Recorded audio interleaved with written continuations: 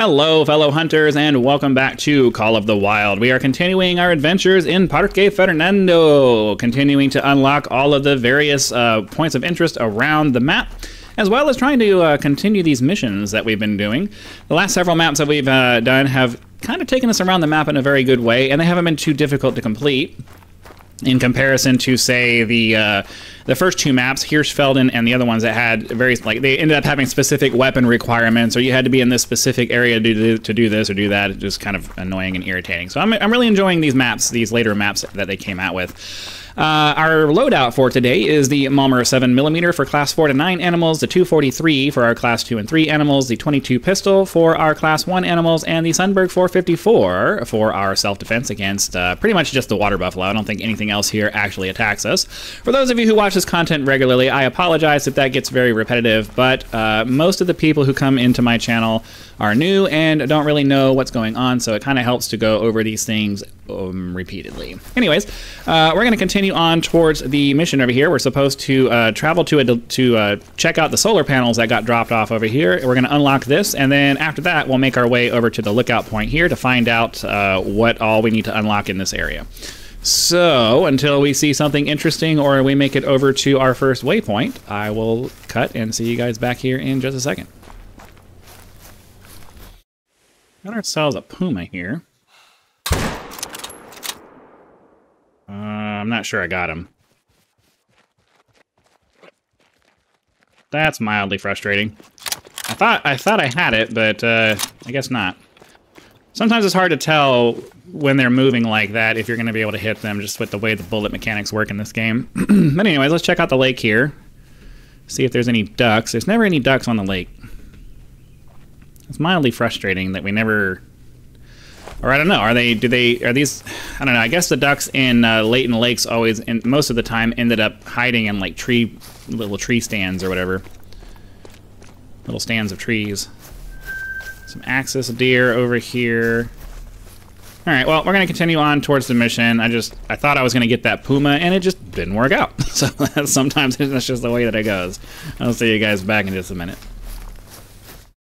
Okay, so I have no idea if I'm even going to even get a chance at this. So we got some cinnamon teal warning calls over here. And if I can get close enough to grab them before they get too high up in the air, maybe I can take one out and maybe it'll be maybe we'll get lucky and it'll be a gold.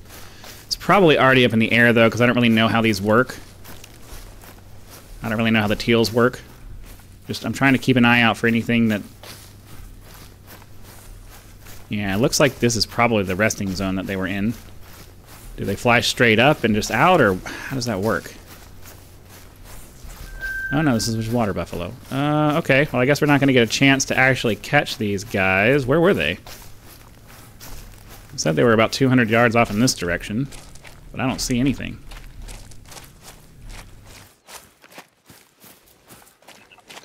If I had a shotgun, it would be much. Um, I'd feel much better about it, but. Uh, I don't have for the, for the realistic loadout that I tried to do. I don't really have the uh, I don't really have the capacity for that. I want to carry two rifles with me. Um, all right. Well, I guess we'll go ahead grab this here. It's probably a hunting stand. Yep, hunting stand, and then we'll head up and do the mission over here. All right. Probably gonna get a little vocal thing from the Ooh. Okay. Uh, I might as well just run. It's already it's, it's caught my scent. There's no way I'm going to sneak up on it this way. I know I could use scent eliminator and all that stuff, but I just I don't mess around with that stuff. Should I know I should, but I just I don't. okay, yeah, the forest is just too thick here. Female there. Another female. Bunch of female. There was a male. Oh, 101. He wasn't even worth our time, anyways. He's only a silver. All right, let's see. Uh, let's see what they have to say for the uh, solar panels that we're supposed to be inspecting over here. The shipping receipt says my solar panel should be in the area ahead of you.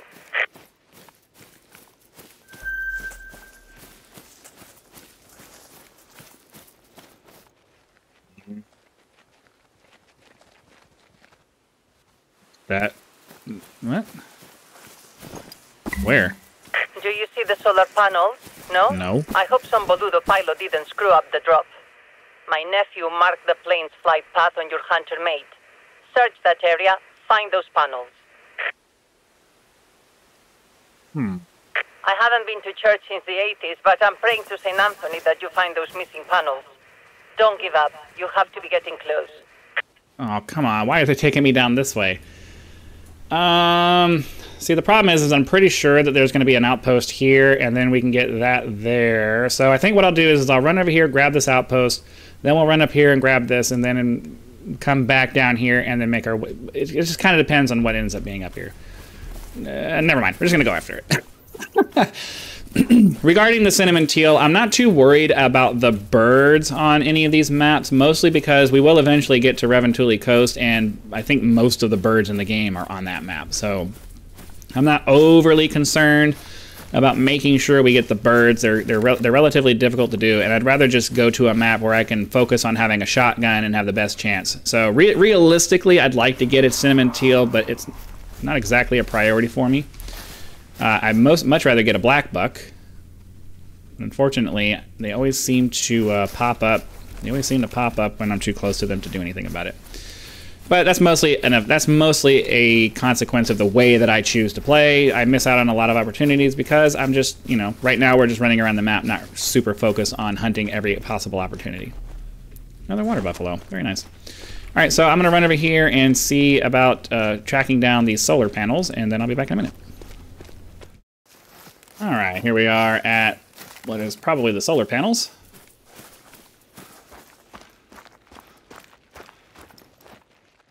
One thirty-seven, and not even a gold. You found my solar panels? Whew, maybe St. Anthony did Oh. the trick after all. I'll send a crew to that location to retrieve them.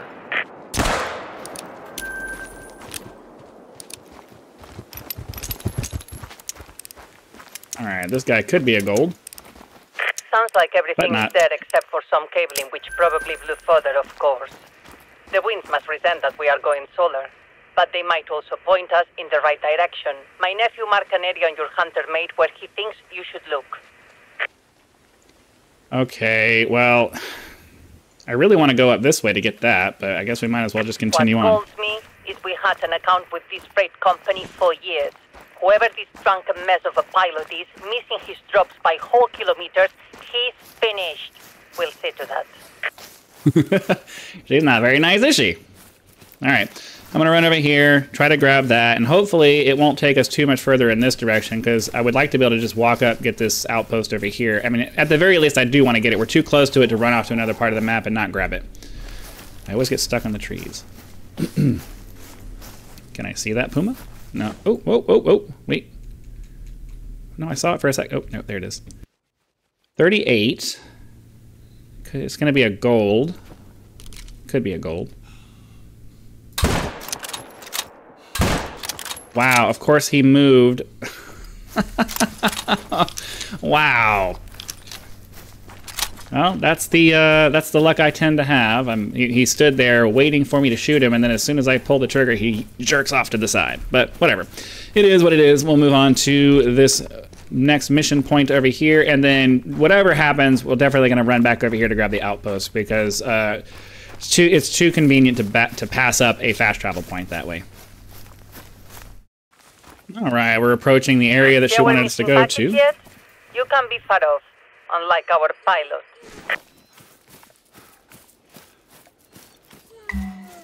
We don't have time to waste. I want you to shoot that package down, and hopefully nearby, Water Buffalo won't charge you. I promise you, Che, this pilot, this pelotudo is going to pay for putting you at risk like this. Wait until the Water Buffalo disperse, or find a way to disperse them yourself before you retrieve the package. Well, they already ran off, so don't have to worry about that.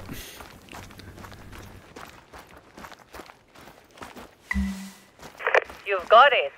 See, this is the last piece we need to power up the lodge. Get back oh. there and do the honors. Oh, you want to fight me?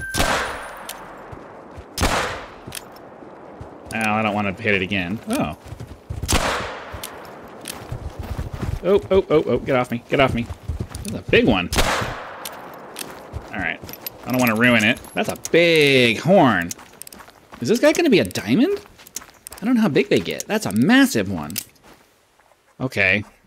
Oh, he was so close to diamond. Oh, man.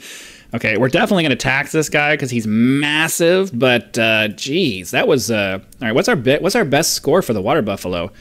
133.83 is our last one, so 164.26. Man, this guy is huge. Kind of wish we were able to get the... I kind of wish we were able to get the diamond there, though. Look how big that is. That is insane. Okay, uh, yeah, I'm I'm rarely impressed by a lot of the animals here, but that was, wow, I can't wait to see what the diamonds look like. Uh, what does she want us to do? All right, so we, we need to go over there, but what we're the plan for now, since we need to go back over here anyways, is we're gonna grab this, then we'll run over here to this outpost, run up to the outlook, the lookout point here, and see what else is nearby, because there might be another outpost. Well, I don't know. We'll see. Uh, uh, yeah, we're gonna run off in this direction. This is pro... I don't know what this is going to be. That's going to be. It's kind of hard to tell what this is going to be. Um, and since we're so close, it doesn't really make much sense for me to put a cut in because I'm going to press the button and then we're going to travel 100 yards and then be right back. So uh, if it turns out to be a hunting stand, that's going to be mildly annoying because I could have bypassed that as far as the recording goes, but, you know, you can't know until you know. Yeah, it looks like this is probably going to be a hunting stand. So let's do that. I'm almost, yeah, it's got to be a hunting stand. There's no way this big open area and it's not a hunting stand. Matter of fact, you can probably see, yeah. All right, so I'll run up this way. Hopefully that's going to turn out to be an outpost, and then we'll make our way up to the, uh, just looking around for ducks. Where?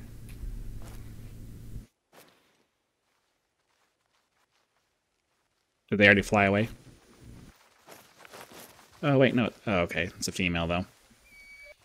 It would have been a three. We need a four to get... Uh... So it doesn't seem like these ducks, for whatever reason, they don't like to sit in the water. Which makes it very difficult to actually spot them because they don't sit in the water and make it easy for you to see, which, you know, I'm sure is realistic. It's just, I'm just making a comment about how compared to some of the other waterfowl that we've been going after. It's much harder to find these because they don't tend to sit out on the water. Which is probably a smart way to go as far as being a duck, but it's kind of frustrating and annoying when, uh, on the hunting side of it. So anyways, uh, maybe I'll get lucky and happen across a duck, but like I said, I'm not overly concerned about grabbing the birds in any of these maps simply because Revontuli Coast is pretty much the li- when I look at the list of that, it's got almost every bird in it. So I'm not, I'm not, I'm not overly concerned about it. So we'll run over here, grab this outpost, uh, which is what it hopefully is, and I'll be back in a minute. All right, as expected, this is going to turn out to be an outpost. We'll get that unlocked, and then, uh, well, I guess we'll come over here then. Unlock this. This is all flat area, so we'll run over here, grab this lookout point, and then see what else is available after all of that. I think I am going to stop real quick and restock on my ammo. Not because I'm worried about running out, but I just, since we're here, I like to keep all of my ammo stocked up around the 50 round range. Just because that's a personal preference thing for me. So we'll take a second. We'll pop through our ammo list here. 22, I haven't really shot any of that yet. The 243, I shot a few rounds. Let's go ahead and just pop that over 50. Check our 7 millimeter. Yeah, we'll pop that over 52. It's not like we're hurting for cash at this point. We'll definitely pop that over 50. And then uh, off we go to the next item. I'm not particularly interested in a red deer, but if he's just going to stand there like that, I might as well.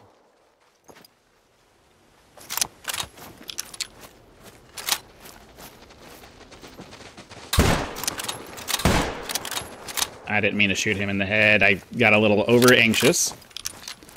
What's this guy over here? Dude.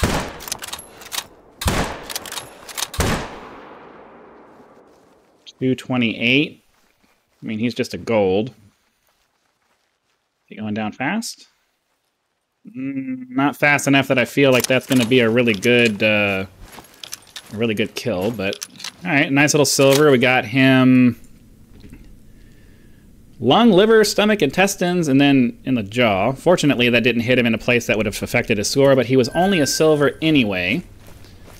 Let me uh, grab this need zone here.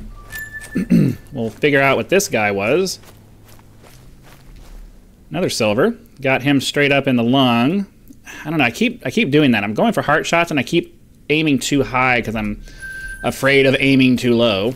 Uh, let me unlock whatever this is here, and then we'll go find that red deer that we shot. Turned out to be a hunting stand.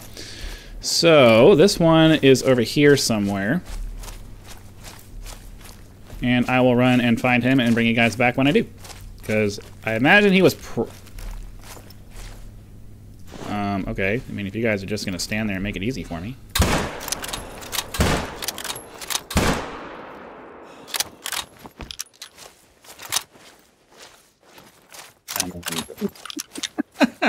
I'm not going to complain when they get stuck like that. That's easy money.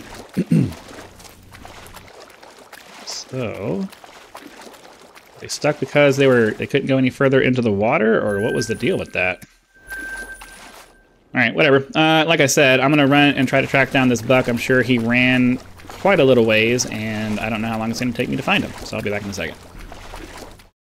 All right, I think this is our guy almost certainly to turn out to be a gold. We will go ahead and tax. Go ahead and tax him. Oh, you got to be kidding me. Behind the tree?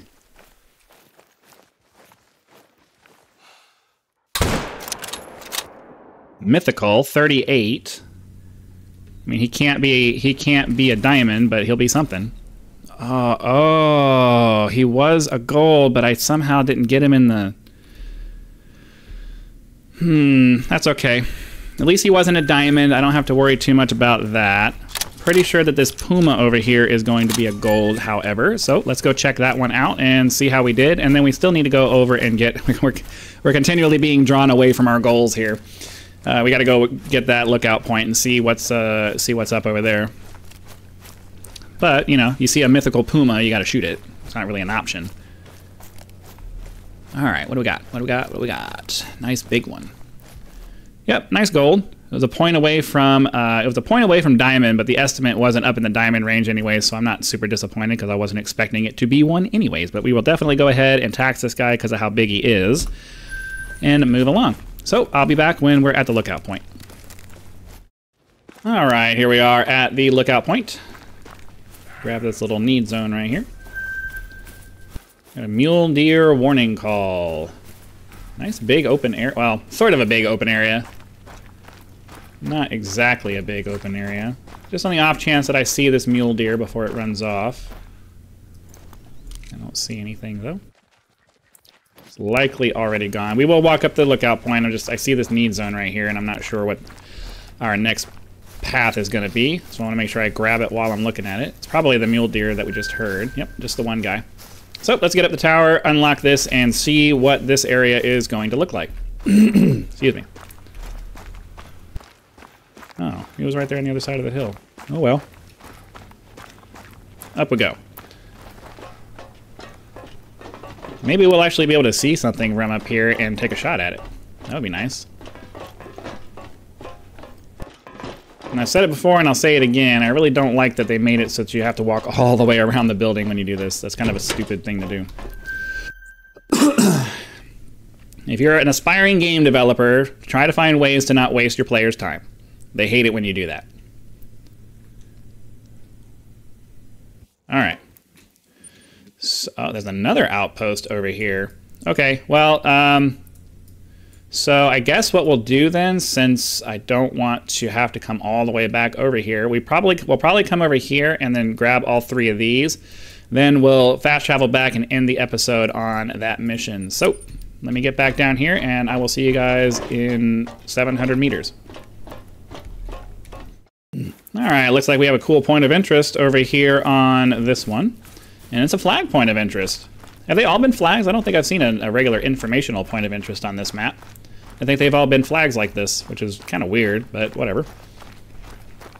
See what they have to say. While many species in Patagonia are invaders who were introduced in the last century, the trees and shrubs of the North, North I don't even know how you say that, commonly called southern beeches, are Patagonia natives, and by natives I mean we have fossils indicating they've been here since the Cretaceous period. These evergreens can be found all across the reserve. Their nuts are edible when properly cooked. Very cool. I did shoot a female uh, deer over in that direction, and she happened to run across my path again. So I think she came down. Yeah, she came down right over here. Nothing special or anything like that. Just a female deer I was shooting along the way. And the only reason I'm bringing it up is just it was weird that she kind of just ran back in front of my path. She she was going off in a completely other direction, and some for whatever reason she curved back around and ran right in front of me. Pretty sure that this right here is going to be a. Uh, hunting stand, and then we'll go unlock the outpost over there. Then we'll fast travel back and finish off that mission, or at least advance the, the story mission for this. Yep, so I'll see you guys at the outpost over here, and then we can fast travel back. Uh, oh, wait, okay. Maybe we'll have a chance for a collared peccary finally. We need a, basically need a 100. A we need a 98 and some change. So I just need one of these to be at 100, and of course none of them are.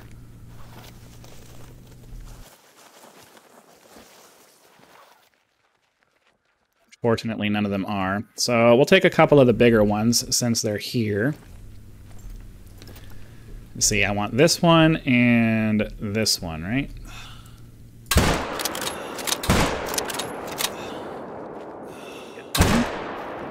Might as well. All right, well, unfortunately, I was, I was really hoping that one of them would be a gold, but we just haven't had much luck with golds in this in uh, some of these things.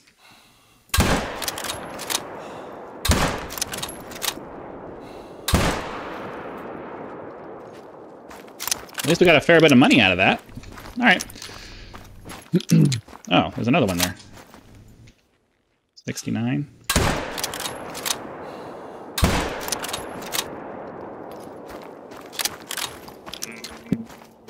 I mean, we're going in that direction anyway, so I'll definitely, I'll definitely track them down. But as we saw, none of them, uh, the minimum score for a gold for collared peccary is 98.5, and the highest one we saw was a 97. So I'm not going to bother you guys with uh, harvesting these. I'll see you over at the outpost when we're done. All right, here we are at the outpost. 119 for the black buck. That could be a gold. Let's, uh, let's get a little closer. Uh, much as I'd like to try to go after some of those guys, I'd much rather get this black buck here. Black buck minimum is 106. 102. This guy should be. I don't want to ruin it though. I want to make sure I'm right within the right within the zeroing range, so I can just put it right on his chest and just be done with it.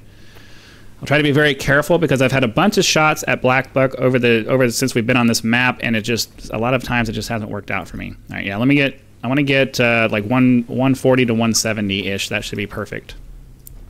I gotta wait for the zero. The, the, the I gotta wait for the spotting thing to go away so I can get a, re, a re, redo on the estimate there. There we go. All right.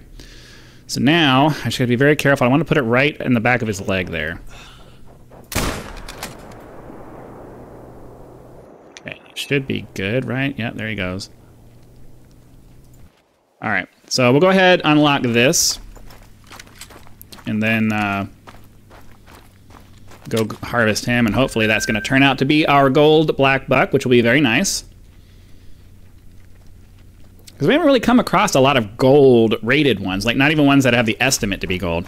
And then I think after this, we'll fast travel to this outpost here and use the ATV to just unlock these really quick. I don't want to get too, I don't want to get, get too uh, crazy about missing things along the way. We don't want to have to go backtracking too much. So I think that's what we'll do for that.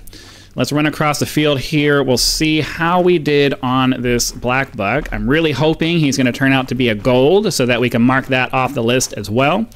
Um, I have been noticing that certain species are just not coming up gold very much, and that kind of sucks because it means we're not going to have several examples of them in the lodge once we do that. I know I haven't gone back to the lodge in a while. I'm kind of in a place now where um, I kind of want to just gather all my trophies, and then once we're done at the end, we can uh, go back and put everything in the lodge before we move on to the next one. And I may change my mind, especially if you guys are like, "Hey, go to the lodge, man." You know, uh, viewer participation is definitely encouraged, but uh, at this moment, I'm not overly concerned about heading to the lodge every time we find. Yes, okay, we're definitely going to tax this guy so we don't lose him. So now we definitely have our gold black buck at a 113. Oh, okay, where do I find that? That's going to be under antelope, I think. Yep, antelope black buck uh, under 113.58. So that takes care of that. All we have left now is the collared peccary and, you know, the cinnamon teal if we can get it. I'm not really that concerned about grabbing that. So I'm going to fast travel, and uh, well, I'm just going to pull out the ATV to go grab those two things because we still need to fast travel back to the main lodge to uh, finish up the mission, the main, the story mission here. So I'll be back once we're at, back at the actual lodge and doing that. All right, this looks like it's going to be an informational point of interest, so let's grab this one, and then we'll go back down the road and grab the other one. So, the brilliant red flowers of the Emboth- Embothrium are often called the Chilean firebrush by English speakers. As a girl, I like to spot hummingbirds pollinating them. They are vivacious, passionate flowers, just like the people of Patagonia. So, we went up. Oh, if I can stop this from doing that. I hate that the space bar is how you get into it. Um, I don't want to go too far up that way.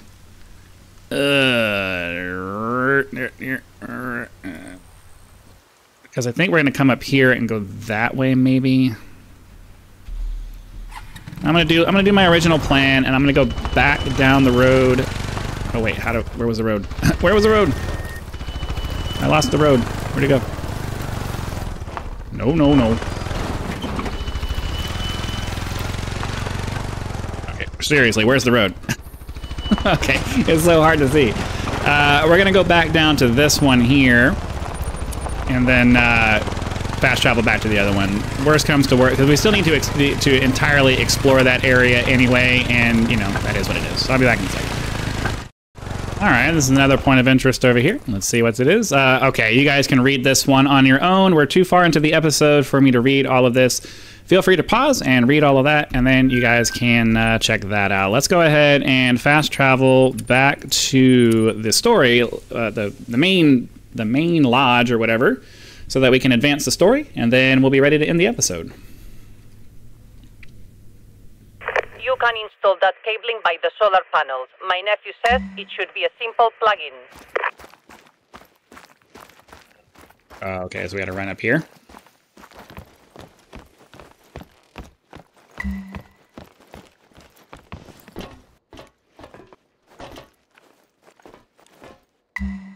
Okay. Let's hope this works.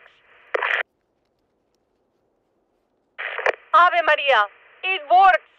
Parque Fernando can finally open to the public. Okay. Well, let's uh make sure that she's done talking. you never know. Che, my beloved Fernando is smiling down on us. You know, he and I planned to open this place all the way back in 1983. But then he died, and one thing after another got in the way of opening. I had a family to pull together, businesses to run. Everybody doubted me, doubted I could manage it all without Fernando. Every time I spent money to improve the park, his boludos brothers laughed and called me Doña Quixote. Too bad none of them live to see this day. If I am Quixote, you are my panza and by opening this park, we have fought a giant and won. Okay. But this is only the start of our adventures together, Che. For one thing, we need to put finishing touches on this lodge. I am the patroness for a local artisan, goes by Mad Mad.